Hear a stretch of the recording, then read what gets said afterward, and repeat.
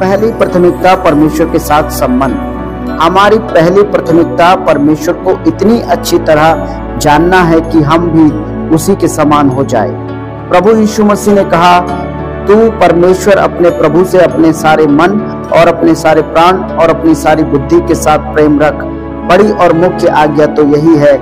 मती रचित सुसमाचार 22 अध्याय 37 और 38 पर परमेश्वर प्रत्येक व्यक्ति से प्रेम करता है। और बदले में वह चाहता है कि वह उसे भी प्रेम करे।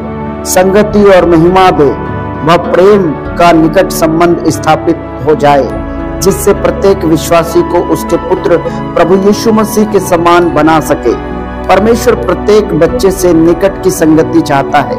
इस निकट संगति में वह स्वयं हमें हर संभव वरदान प्रदान करता है।